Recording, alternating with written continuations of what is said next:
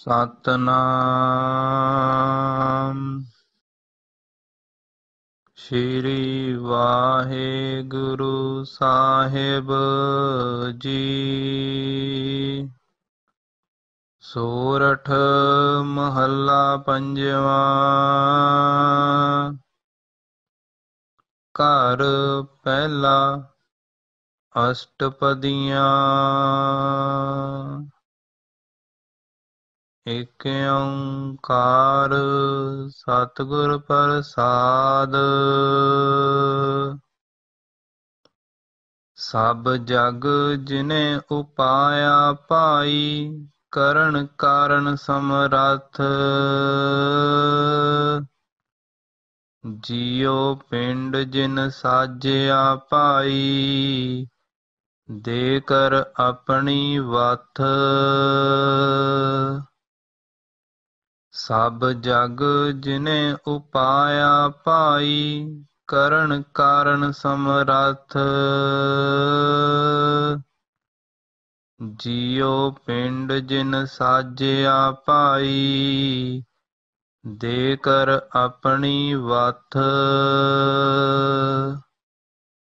ਕਿਨ ਕਹੀਏ, ਕਿਉ ਦੇਖੀਐ ਪਾਈ ਕਰਤਾ ਏਕ ਅਕਥ।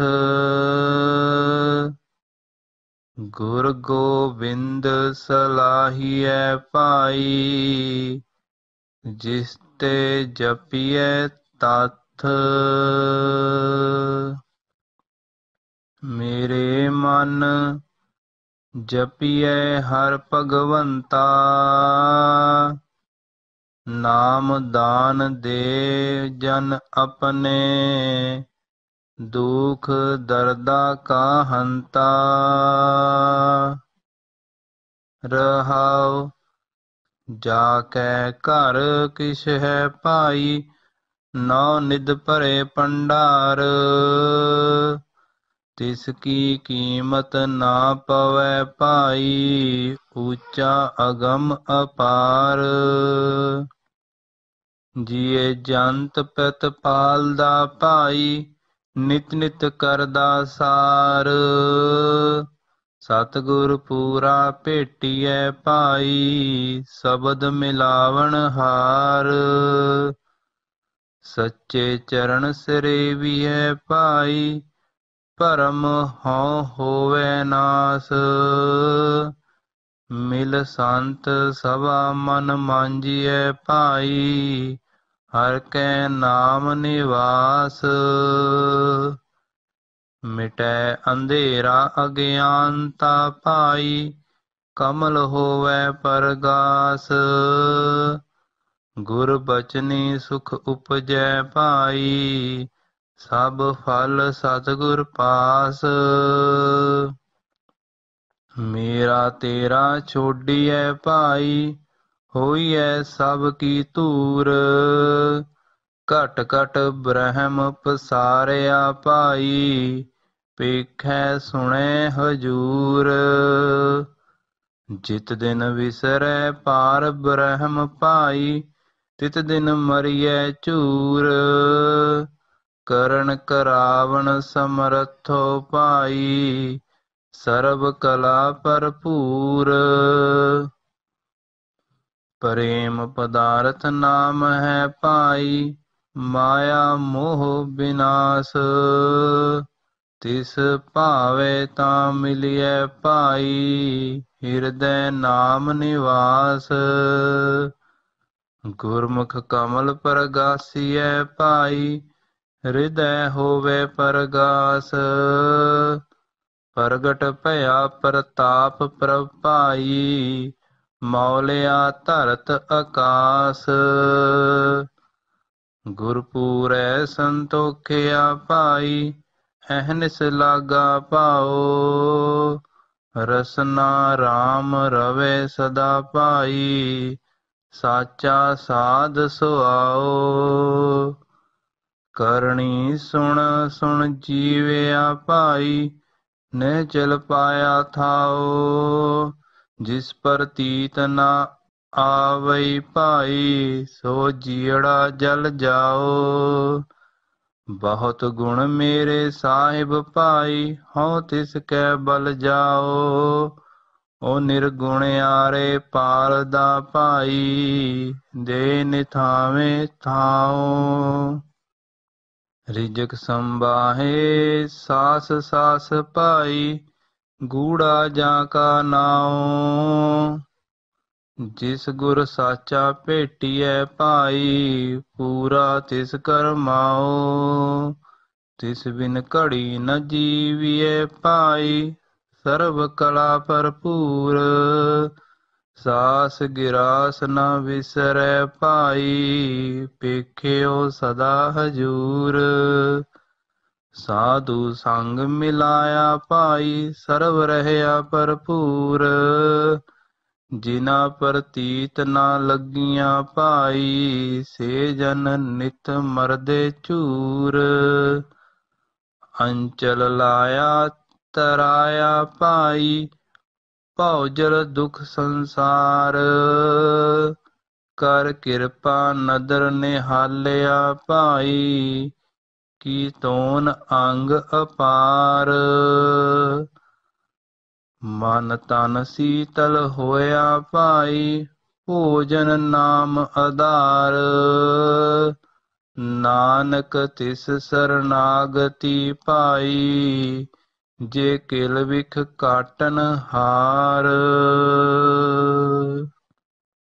ਮਨ ਤਨ ਸੀਤਲ ਹੋਇਆ ਭਾਈ, ਭੋਜਨ ਨਾਮ ਆਧਾਰ। ਨਾਨਕ ਤਿਸ ਸਰਨਾਗਤੀ ਭਾਈ, ਜੇ ਕਿਲ ਵਿਖ ਕਾਟਨ ਹਾਰ। ਵਾਹਿਗੁਰੂ ਜੀ ਕਾ ਖਾਲਸਾ। ਵਾਹਿਗੁਰੂ ਜੀ ਕੀ ਫਤਿਹ। ਸੋਰਠ ਮਹੱਲਾ ਪੰਜਵਾਂ, ਘਰ ਪਹਿਲਾ ਅਸ਼ਟਪਦੀਆਂ ਏਕ ਓੰਕਾਰ ਸਤਿਗੁਰ ਪ੍ਰਸਾਦ। हे ਭਾਈ, ਜਿਸ ਪਰਮਾਤਮਾ ਨੇ ਆਪ ਹੀ ਸਾਰਾ ਜਗਤ ਪੈਦਾ ਕੀਤਾ ਹੈ, ਜੋ ਸਾਰੇ ਜਗਤ ਦਾ ਮੂਲ ਹੈ, ਜੋ ਸਾਰੀਆਂ ਤਾਕਤਾਂ ਦਾ ਮਾਲਕ ਹੈ, ਜਿਸ ਨੇ ਆਪਣੀ ਸਤਿਆ ਦੇ ਕੇ ਮਨੁੱਖ ਦਾ ਜਿੰਦ ਤੇ ਸਰੀਰ ਪੈਦਾ ਕੀਤਾ। ਉਹ ਕਰਤਾਰ ਤਾਂ ਕਿਸੇ ਪਾਸੋਂ ਵੀ ਬਿਆਨ ਨਹੀਂ ਕੀਤਾ ਜਾ ਸਕਦਾ। हे ਭਾਈ, ਉਹ ਕਰਤਾਰ ਦਾ ਸਰੂਪ ਦੱਸਿਆ ਨਹੀਂ ਜਾ ਸਕਦਾ। ਉਸ ਨੂੰ ਕਿਵੇਂ ਦੇਖਿਆ ਜਾਏ? हे ਭਾਈ, ਗੋਬਿੰਦ ਦੇ ਰੂਪ ਗੁਰੂ ਦੀ ਸਿਫਤ ਕਰਨੀ ਚਾਹੀਦੀ ਹੈ, ਕਿਉਂਕਿ ਗੁਰੂ ਪਾਸੋਂ ਹੀ ਸਾਰੇ ਜਗਤ ਦੇ ਮੂਲ ਪਰਮਾਤਮਾ ਦੀ ਸੂਝ ਪੈਂਦੀ ਹੈ। ਹੇ ਮੇਰੇ ਮਨ, ਸਦਾ ਹਰੀ ਭਗਵਾਨ ਦਾ ਨਾਮ ਜਪਣਾ ਚਾਹੀਦਾ ਹੈ। ਉਹ ਭਗਵਾਨ ਆਪਣੇ ਸੇਵਕ ਨੂੰ ਆਪਣੇ ਨਾਮ ਦੀ ਦਾਤ ਦਿੰਦਾ ਹੈ। ਉਹ ਸਾਰੇ ਦੁੱਖਾਂ, ਪੀੜਾਂ ਦਾ ਨਾਸ਼ ਕਰਨ ਵਾਲਾ ਹੈ। ਰਹਾਓ। ਹੇ ਭਾਈ, ਜਿਸ ਪ੍ਰਭੂ ਦੇ ਘਰ ਵਿੱਚ ਹਰੇਕ ਚੀਜ਼ ਮੌਜੂਦ ਹੈ, ਉਸ ਦੇ ਘਰ ਵਿੱਚ ਜਗਤ ਦੇ ਸਾਰੇ ਨੌ ਹੀ ਖਜ਼ਾਨੇ ਮੌਜੂਦ ਹਨ। ਉਸ ਦੇ ਘਰ ਵਿੱਚ ਭੰਡਾਰੇ ਭਰੇ ਪਏ ਹਨ। ਉਸ ਦਾ ਮੂਲ ਨਹੀਂ ਪੈ ਸਕਦਾ। ਉਹ ਸਭ ਤੋਂ ਉੱਚਾ ਹੈ, ਉਹ ਪਹੁੰਚ ਹੈ, ਉਹ ਬੇਅੰਤ ਹੈ। ਇਹ ਭਾਈ, ਉਹ ਪ੍ਰਭੂ ਸਾਰੇ ਜੀਵਾਂ ਦੀ ਪਾਲਣਾ ਕਰਦਾ ਹੈ, ਉਹ ਸਦਾ ਹੀ ਸਭ ਜੀਵਾਂ ਦੀ ਸੰਭਾਲ ਕਰਦਾ ਹੈ, ਉਸ ਦਾ ਦਰਸ਼ਨ ਕਰਨ ਲਈ ਇਹ ਭਾਈ, ਪੂਰੇ ਗੁਰੂ ਨੂੰ ਮਿਲਣਾ ਚਾਹੀਦਾ ਹੈ। ਗੁਰੂ ਹੀ ਆਪਣੇ ਸ਼ਬਦ ਵਿੱਚ ਜੋੜ ਕੇ ਪਰਮਾਤਮਾ ਨਾਲ ਮਿਲਾ ਸਕਣ ਵਾਲਾ ਹੈ। ਇਹ ਭਾਈ, ਸਦਾ ਸਥਿਰ ਰਹਿਣ ਵਾਲੇ ਪਰਮਾਤਮਾ ਦੇ ਚਰਨ ਹਿਰਦੇ ਵਿੱਚ ਵਸਾਈ ਰੱਖਣੇ ਚਾਹੀਦੇ ਹਨ। ਇਸ ਤਰ੍ਹਾਂ ਮਨ ਦੀ ਭਟਕਣਾ ਦਾ ਹਰੇਕ ਕਿਸਮ ਦਾ ਡਰ ਨਾਸ ਹੋ ਜਾਂਦਾ ਹੈ। ਇਹ ਭਾਈ, ਸਾਧ ਸੰਗਤ ਵਿੱਚ ਮਿਲ ਕੇ ਮਨ ਨੂੰ ਸਾਫ਼ ਕਰਨਾ ਚਾਹੀਦਾ ਹੈ। ਇਸ ਤਰ੍ਹਾਂ ਪ੍ਰਮਾਤਮਾ ਦੇ ਨਾਮ ਵਿੱਚ ਮਨ ਦਾ ਨਿਵਾਸ ਹੋ ਜਾਂਦਾ ਹੈ। ਸਾਧ ਸੰਗਤ ਦੀ ਬਰਕਤ ਨਾਲ ਹੇ ਭਾਈ, ਆਤਮਿਕ ਜੀਵਨ ਵੱਲੋਂ ਬੇਸਮਝੀ ਦਾ ਹਨੇਰਾ ਮਨੁੱਖ ਦੇ ਅੰਦਰੋਂ ਮਿਟ ਜਾਂਦਾ ਹੈ। ਹਿਰਦੇ ਦੇ ਕੋਲ ਫੁੱਲ ਦਾ ਖਿੜਾਓ ਹੋ ਜਾਂਦਾ ਹੈ। ਹੇ ਭਾਈ, ਗੁਰੂ ਦੇ ਬਚਨਾਂ ਉੱਤੇ ਤੁਰਿਆ ਆਤਮਿਕ ਆਨੰਦ ਪੈਦਾ ਹੁੰਦਾ ਹੈ। ਸਾਰੇ ਫਲ ਗੁਰੂ ਦੇ ਕੋਲ ਹਨ। ਹੇ ਭਾਈ, ਵਿਤਕਰਾ ਛੱਡ ਦੇਣਾ ਚਾਹੀਦਾ ਹੈ। ਸਭਨਾਂ ਦੇ ਚਰਨਾਂ ਦੀ ਧੂੜ ਬਣ ਜਾਣਾ ਚਾਹੀਦਾ ਹੈ। ਹੇ ਭਾਈ, ਪਰਮਾਤਮਾ ਹਰੇਕ ਸਰੀਰ ਵਿੱਚ ਵਸ ਰਿਹਾ ਹੈ। ਉਹ ਸਭ ਦੇ ਅੰਗ ਸੰਗ ਹੋ ਕੇ ਸਭ ਦੇ ਕੰਮਾਂ ਨੂੰ ਵੇਖਦਾ ਹੈ, ਸਭਨਾਂ ਦੀਆਂ ਗੱਲਾਂ ਸੁਣਦਾ ਹੈ। ਹੇ ਭਾਈ, ਜਿਸ ਦਿਨ ਪਰਮਾਤਮਾ ਭੁੱਲ ਜਾਏ, ਉਸ ਦਿਨ ਦੁਖੀ ਹੋ ਹੋ ਕੇ ਆਤਮਿਕ ਮੋਹ ਸੇੜ ਲਈਦੀ ਹੈ। ਇਹ ਭਾਈ, ਇਹ ਯਾਦ ਰੱਖੋ ਕਿ ਪਰਮਾਤਮਾ ਸਭ ਕੁਝ ਕਰ ਸਕਣ ਵਾਲਾ ਹੈ ਤੇ ਜੀਵਾਂ ਪਾਸੋਂ ਕਰਾ ਸਕਣ ਵਾਲਾ ਹੈ। ਪਰਮਾਤਮਾ ਵਿੱਚ ਸਾਰੀਆਂ ਤਾਕਤਾਂ ਮੌਜੂਦ ਹਨ। ਇਹ ਭਾਈ, ਜਿਸ ਮਨੁੱਖ ਦੇ ਹਿਰਦੇ 'ਚ ਪਰਮਾਤਮਾ ਦੇ ਪਿਆਰ ਦਾ ਕੀਮਤੀ ਧਨ ਮੌਜੂਦ ਹੈ, ਹਰ ਨਾਮ ਮੌਜੂਦ ਹੈ ਉਸ ਦੇ ਅੰਦਰੋਂ ਮਾਇਆ ਦੇ ਮੋਹ ਦਾ ਨਾਸ਼ ਹੋ ਜਾਂਦਾ ਹੈ। ਹੇ ਭਾਈ, ਉਸ ਪਰਮਾਤਮਾ ਨੂੰ ਜਦੋਂ ਚੰਗਾ ਲੱਗੇ, ਤਦੋਂ ਉਹ ਜਿਸ ਨੂੰ ਆਪਣੇ ਚਰਨਾਂ ਵਿੱਚ ਮਿਲਾ ਲੈਂਦਾ ਹੈ ਉਸ ਦੇ ਹਿਰਦੇ ਵਿੱਚ ਪ੍ਰਭੂ ਦੇ ਨਾਮ ਦਾ ਨਿਵਾਸ ਹੋ ਜਾਂਦਾ ਹੈ। ਹੇ ਭਾਈ, ਗੁਰੂ ਦੇ ਸਨਮੁਖ ਹੋਇਆ ਹਿਰਦੇ ਕੋਲ ਫੁੱਲ ਖਿੜ ਪੈਂਦਾ ਹੈ। ਹਿਰਦੇ ਵਿੱਚ ਆਤਮਿਕ ਜੀਵਨ ਦੀ ਸੋਝੀ ਆ ਜਾਂਦੀ ਹੈ। ਹੇ ਭਾਈ, ਗੁਰੂ ਦੀ ਸ਼ਰਨ ਪਿਆ ਮਨੁੱਖ ਦੇ ਅੰਦਰ ਪਰਮਾਤਮਾ ਦੀ ਤਾਕਤ ਪ੍ਰਗਟ ਹੋ ਜਾਂਦੀ ਹੈ। ਮਨੁੱਖ ਨੂੰ ਸਮਝ ਆ ਜਾਂਦੀ ਹੈ ਕਿ ਪਰਮਾਤਮਾ ਬੇਅੰਤ ਤਾਕਤ ਦਾ ਮਾਲਕ ਹੈ ਤੇ ਪ੍ਰਭੂ ਦੀ ਤਾਕਤ ਨਾਲ ਹੀ ਧਰਤੀ ਖੜੀ ਹੈ। ਆਕਾਸ਼ ਖਿੜਿਆ ਹੋਇਆ ਹੈ। ਇਹ ਭਾਈ ਜਿਸ ਮਨੁੱਖ ਨੂੰ ਪੂਰੇ ਗੁਰੂ ਨੇ ਸੰਤੋਖ ਦੀ ਦਾਤ ਦੇ ਦਿੱਤੀ, ਉਸ ਦੇ ਅੰਦਰ ਦਿਨ ਰਾਤ ਪ੍ਰਭੂ ਚਰਨਾਂ ਦਾ ਪਿਆਰ ਬਣਿਆ ਰਹਿੰਦਾ ਹੈ। ਉਹ ਮਨੁੱਖ ਸਦਾ ਆਪਣੀ ਜੀਵ ਨਾਲ ਪਰਮਾਤਮਾ ਦਾ ਨਾਮ ਜਪਦਾ ਰਹਿੰਦਾ ਹੈ। ਨਾਮ ਜਪਣ ਦਾ ਇਹ ਸਵਾਦ ਇਹ ਨਿਸ਼ਾਨਾ ਉਸ ਦੇ ਅੰਦਰ ਸਦਾ ਕਾਇਮ ਰਹਿੰਦਾ ਹੈ। ਇਹ ਭਾਈ, ਉਹ ਮਨੁੱਖ ਆਪਣੇ ਕੰਨਾਂ ਨਾਲ ਪਰਮਾਤਮਾ ਦੀ ਸੇਵ ਸਲਾਹ ਸੁਣ ਸੁਣ ਕੇ ਆਤਮਿਕ ਜੀਵਨ ਹਾਸਲ ਕਰਦਾ ਹੈ।